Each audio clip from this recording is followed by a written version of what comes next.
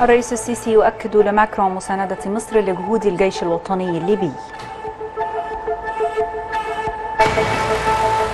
السيطرة على حارق أمام معهد الأورام يؤدي إلى وفاة وإصابة عدد من المواطنين. وترامب يدلي ببيان اليوم حول حوادث إطلاق النار في الولايات المتحدة.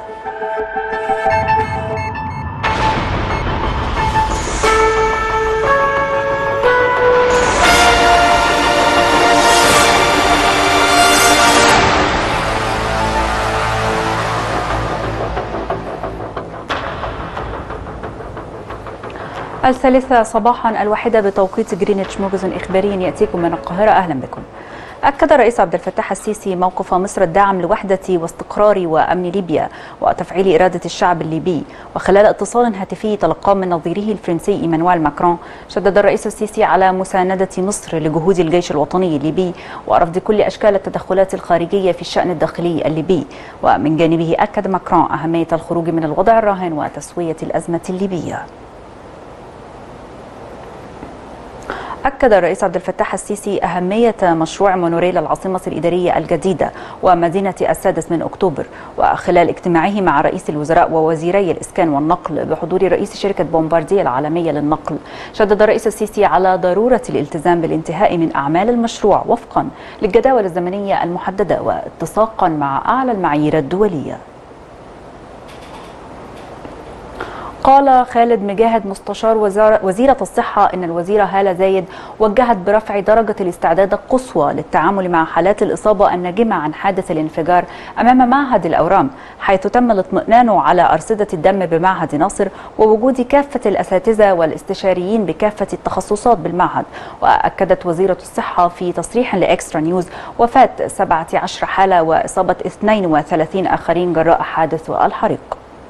فور الحادث ضخينا 42 سيارة إسعاف وأخلينا معظم الجثامين على معهد ناصر والإصابات. في بعض الإصابات راحت مترجلة للقصر العيني والمنيرة. إحنا دلوقتي بنجيب إصابات المنيرة هنا في معهد ناصر إجمالي الإصابات لغاية دلوقتي 32 إصابة فيهم شديدين الخطورة. وإجمالي الجثامين اللي تم رفعها لغاية دلوقتي 17 وبالإضافة لكيس أشلاء ما زال البحث عن بعض احتمال بعض الجثامين في الموقع خاصة في المياه المقابلة للمعهد. إن شاء الله ما يبقاش في حاجة بس ما زال البحث موجود. آه تم إخلاء معهد الأورام بناء على طلب إدارة معهد الأورام وتم تحويل حتى هذه اللحظة آه 43 حالة آه معظمهم لمعهد ناصر والمنيرة ومستشفى دار السلام للأورام التابعة لوزارة الصحة. وكان مصدر أمني قد أفاد بأن الانفجار أمام معهد الأورام حدث نتيجة اصطدام إحدى السيارات الملاكي التي كانت تسير عكس الاتجاه بثلاث سيارات أخرى. هذا وكلف النائب العام نيابة جنوب القاهرة بإجراء المعاينة اللازمة لحادث معهد الأورام لمعرفة أسبابه وكيفية حدوثه بينما أكدت جامعة القاهرة أن جميع المرضى والعاملين في معهد الأورام القومي بخير وأن آثار الحريق لم تمتد إلى الداخل.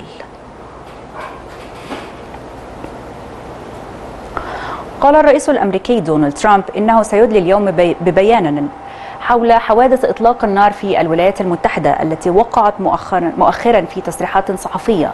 أضاف ترامب إنه لا مكانا في بلاده للكراهية مشيرا إلى إنه تحدث مع مكتب التحقيقات الاتحادي ووزير العدل وويليام بار وأعضاء في الكونغرس بشأن ما يمكن عمله لعدم حدوث أعمال عنف أخرى مماثلة.